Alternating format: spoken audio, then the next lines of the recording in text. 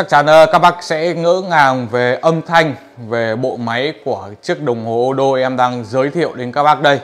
Nó sẽ ờ, cho các bác âm thanh không khác gì âm thanh của một chiếc Odo 368 và cả thiết kế của bộ máy nữa.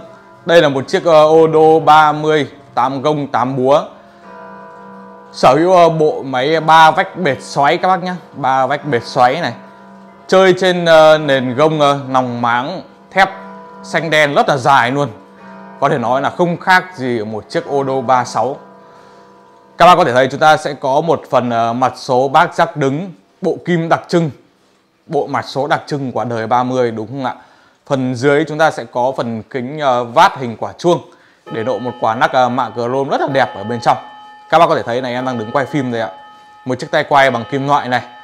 Thùng thì được chạm trổ đặc trưng của thương hiệu Odo đặc biệt là nó mang nét nét đẹp cổ kính của người Pháp. Và bây giờ em ờ, sẽ quay sát thử qua một đoạn chuông.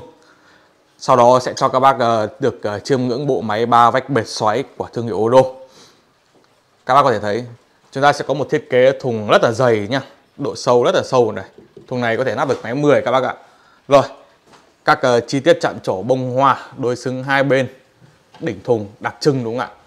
Một phần mái có thể nói gần như là một chiếc vương miệng này, đi xuống dưới, các bác có thể thấy. Một phần à, mặt số của thương hiệu Odo cực kỳ là sắc nét luôn, càng nhìn càng đẹp. Một chiếc tay quay bằng kim loại này, đi xuống dưới đây, thiết kế phần đáy xếp chồng rồi, phần à, kính vát mài hình quả chuông. Các hoa văn họa tiết thì được thiết kế rất là tỉ mỉ, các bác ạ. Đi vào phần bên trong luôn. Các bác nhìn giúp em đây. Ở bên trong chúng ta sẽ có lớp gỗ khô đều màu nhau này ốc chốt hai bên còn đầy đủ ạ. Tay cót zin này, các đầu móc khóa đầy đủ hết.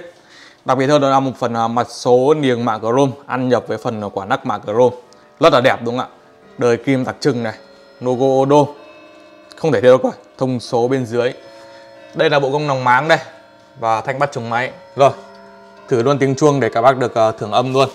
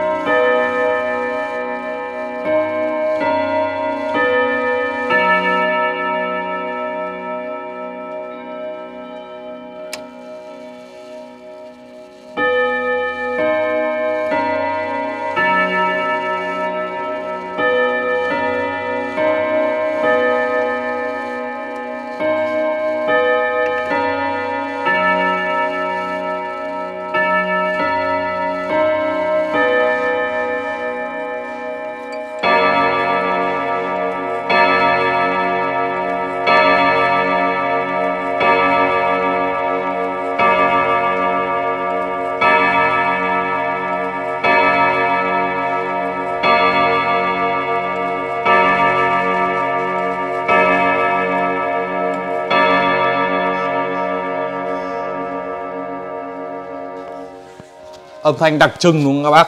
Rất là tròn âm và cực kỳ là ngân. Rồi, sẽ tháo bộ máy ra luôn để các bác được chiêm ngưỡng đây.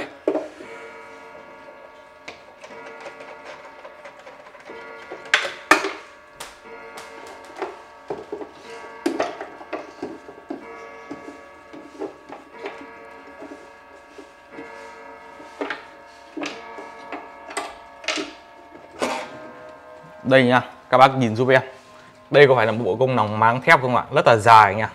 Có thể nói bộ công này nó dài gần như là chạm đáy thùng các bác nhìn này gần như là chạm đáy thùng đây này. Còn một tí nữa là chạm đáy thùng. Tuyệt vời phải không ạ? Còn đây là bộ máy à, uh, 33 vách bệt đây. Logo chuyện quả trứng đúng với logo phần mặt số các bác nhá. Thông số đây đời 30 và đời 5 số. Các bác nhìn giúp em này đây bộ bộ máy ba vách bệt xoáy nhá. Có khác gì bộ máy 36 không ạ? Không khác gì nhau ạ. Rất là tuyệt vời. Đây các bác nhìn đi từng chi tiết này, từng chi tiết này. Vách máy xuống màu đều nhau nhá. Bộ 8 đầu vồ đây, rất là đẹp. Có thể nói là chơi chiếc 30 này thì còn xứng đáng hơn một số chiếc 36 tầm trung các bác ạ. Rồi, xin cảm ơn các bác đã theo dõi video của đồng hồ vang vọng.